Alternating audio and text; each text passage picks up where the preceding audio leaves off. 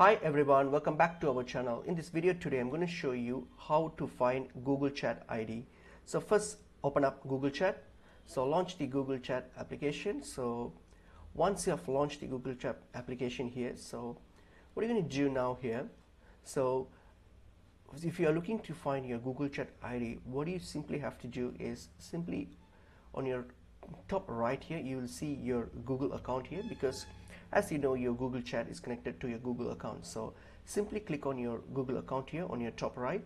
So when you click on your Google account here so here it will show you your Google email so your so your Google email ID is actually your chat ID so it's not your chat ID is not something different to your uh, Gmail it is actually your Gmail ID is it's what your chat ID is so you so you have to be logged into so um, so you have to be logged into your Google account in order to see this. So if you have launched the application, so make sure that you have logged into your account. So once you have logged into your account, just click on your profile and that will show you your Google email ID.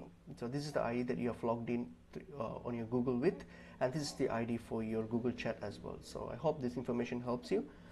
So I'll see you guys in a